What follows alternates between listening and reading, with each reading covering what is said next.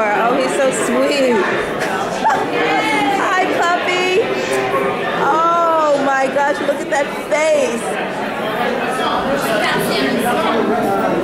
Oh, look at him. You waiting to go to the Apple store? Yeah?